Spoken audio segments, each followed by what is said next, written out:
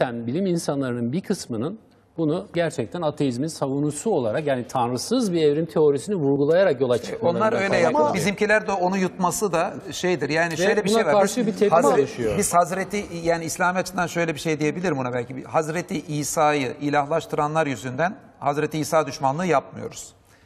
Güneşi tanrılaştıranlar var Şintoizm'de.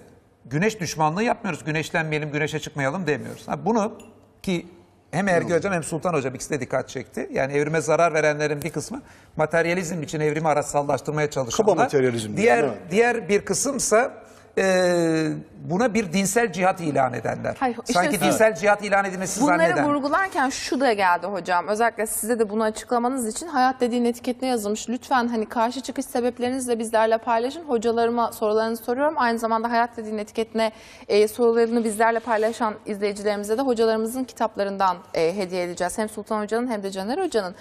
Demiş ki izleyicim, birçok izleyicimizden bu ayet referans olarak verilmiş. Hani Rabbim meleklere ben kuru bir çamurdan şekillendirilmiş balçıktan bir insan yaratacağım. Onu düzenleyip içine ruhumdan üflediğim zaman onun için hemen saygıyla eğilin demişti. Bu ayet yüzünden ben evrim teorisine karşıyım demiş. Şimdi ben onu demin anlattım. Yani şöyle buradaki ayetteki evrime karşıt gördüğü şey ne? Çamurdan yaratılma. Değil mi? Yani demin çamurdan yaratılma. Kur'an'daki birçok ayette bütün insanların çamurdan yaratıldığı geçiyor bakın. O zaman onlara soracağım sen nasıl çamurdan yaratıldın? Onu bana anlat. Yani ayet ilk insana referansla bir tek anlatılmıyor ki bütün insanlara e, referansla anlatılıyor.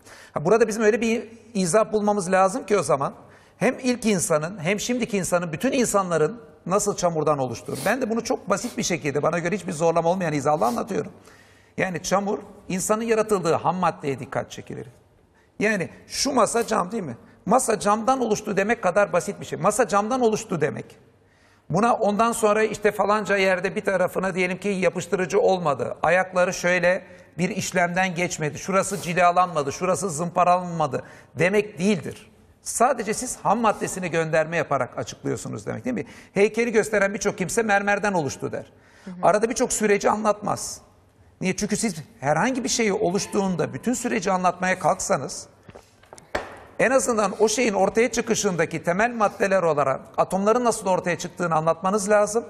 Atomların nasıl ortaya çıktığını anlatmanız için Big Bang'in başlangıcına ondan sonra Higgs parçacığının devreye girmesine kadar gidip anlatmanız lazım. Yani kısacası en basit bir şeyin anlatımı bile en başındaki atom altıyı ve atomdaki yapıların ortaya çıkmasını anlatmaya gider.